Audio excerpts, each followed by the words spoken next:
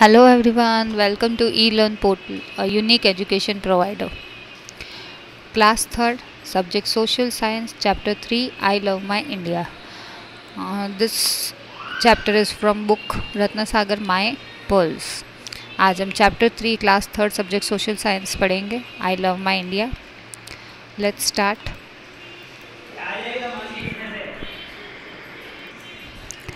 In lesson 2, you learned that there are seven continents.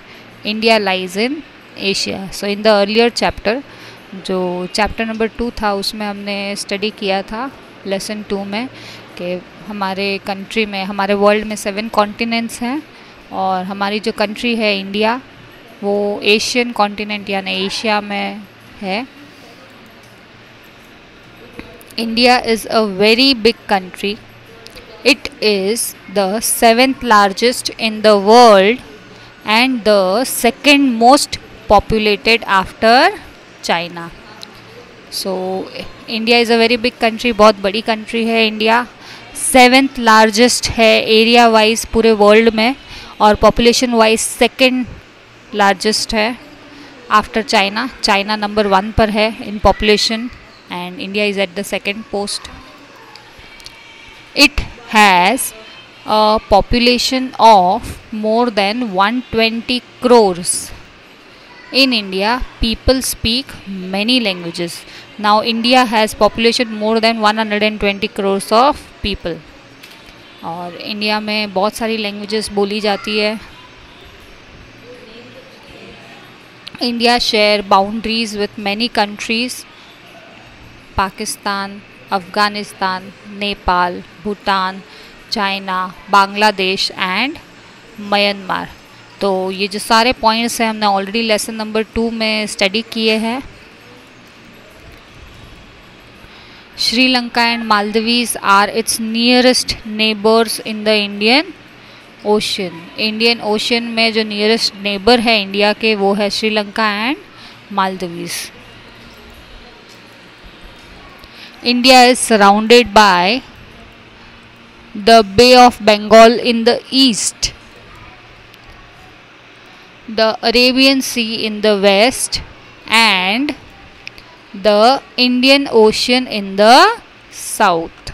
So, India is surrounded by three sides Bay of Bengal in the east, Arabian Sea in the west, or Indian Ocean in the south. India is divided into smaller parts called states it has 20 sorry, it has 28 states.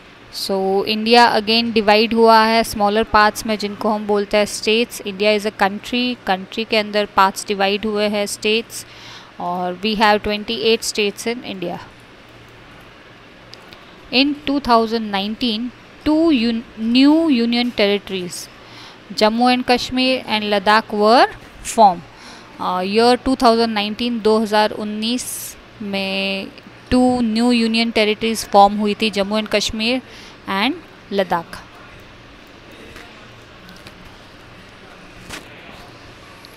there are two types of government in our country the central government and the state government India में two type of government है.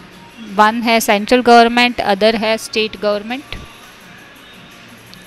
both work together to ensure the safety and welfare of the people both the government दोनों government एक साथ work करती है to ensure यानी हमारी जो सेफ्टी है, उसकी केयर करने के लिए, लोगों के वेलफेयर के लिए दोनों गवर्नमेंट एक साथ काम करती है।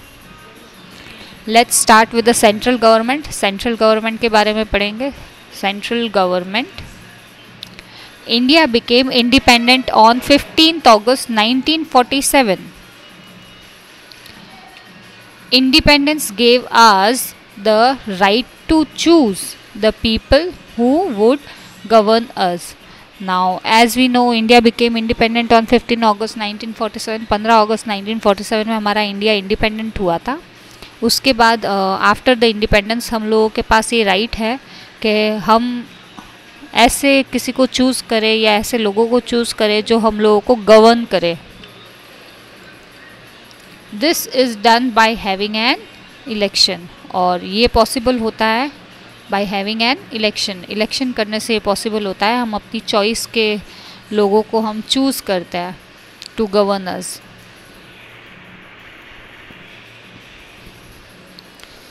during an election people cast their vote and choose some people जब इलेक्शन होता है, तब लोग अपना वोट कास्ट करते हैं और वो चूज़ करते हैं लोगों को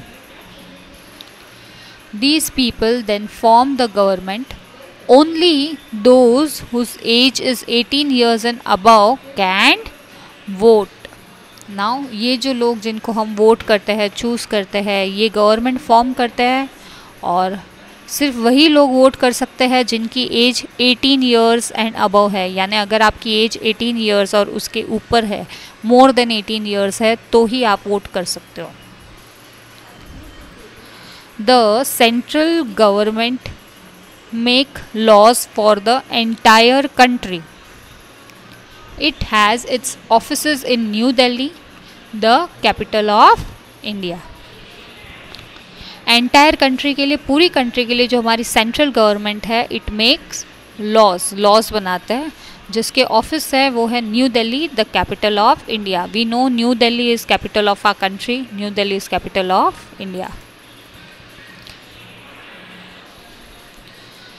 the president, the vice president, the prime minister, other ministers, and the officers of the central government live and work in the capital. जो हमारी कंट्री के प्रेसिडेंट है वाइस प्रेसिडेंट प्राइम मिनिस्टर और अदर मिनिस्टर्स है they live in capital of a country यानी new Delhi में रहकर वो वहाँ से वर्क करते हैं. The president of India lives in the Rashtrapati Bhavan जो हमारी कंट्री के प्रेसिडेंट है, वो राष्ट्रपति भवन में रहता है which is in New Delhi coming on to state government अभी हम स्टेट गवर्नमेंट के बारे में पढ़ेंगे। It is difficult for the central government to solve the problems of all the people therefore each state elects its own government it is called the state government Now, it is very difficult for central government to solve the problems of the people. Central government अकेले सारे लोगों की problem solve नहीं करता है नहीं कर सकता है सॉरी इसीलिए ईच स्टेट की अपनी गवर्नमेंट होती है जिसे हम बोलते हैं state government the state government looks after the welfare of the people living in that state तो जो स्टेट गवर्नमेंट है, उनका वर्क है, उन लोगों को उस स्टेट में जो लोग रहते हैं, उनकी केयर करनी है, उनके लिए जो भी फैसिलिटीज़ अवेलेबल करवानी है, वो सारी फैसिलिटीज़ अवेलेबल करनी है। और जो कुछ भी आपको करना है, वो अपने स्टेट के लोगों के लिए करना है, उनके वेलफेयर के लिए। The governor the chief minister other ministers and the senior officers of the state government live and work in the state capital जो हमारे स्टेट के गवर्नर है चीफ मिनिस्टर है और अदर मिनिस्टर्स है या फिर जो सीनियर ऑफिसर्स है, वो सारे जो हमारे स्टेट का कैपिटल होता है, वहाँ पर रहकर काम करते हैं वर्क करता है। Union territories now let's study about union territories there are some parts of India which are not included in the states these are called union territories India के बहुत सम पार्ट ऐसे हैं जो स्टेट में include नहीं होते हैं, इसलिए उनको कहा जाता है union territories they are govern by the central government जो यूनियन टेरिटरीज है, उनको कौन गवर्न करता है? Central government there are nine union territories including the national capital territory of Delhi total nine union territories है इंडिया में. See there is a table here on the screen screen पर एक table है, जिसमें एक column है union territory का, दूसरा कॉलम है कैपिटल का. हमारे नाइन यूनियन टेरिटरीज के बारे में पढ़ेंगे हम. फ़र्स्ट वन है अंडमान एंड निकोबार आइलैंड्स इसका कैपिटल है Port Blair second Chandigarh, capital is Chandigarh, Dadra and Nagar Haveli, capital Silvassa, Daman and Diu, capital is Daman, Jammu and Kashmir we have two capital for Jammu and Kashmir, Srinagar और Jammu, Srinagar summer capital है, Jammu winter capital है, Ladakh capital for Ladakh is Leh, Lakshadweep capital is Kavaratti Puducherry again Puducherry is capital for Puducherry national capital territory of Delhi capital is Delhi so these are nine union territories and they are capitals on the screen we can see some pictures here हम यहाँ पर कुछ pictures देख रहे हैं.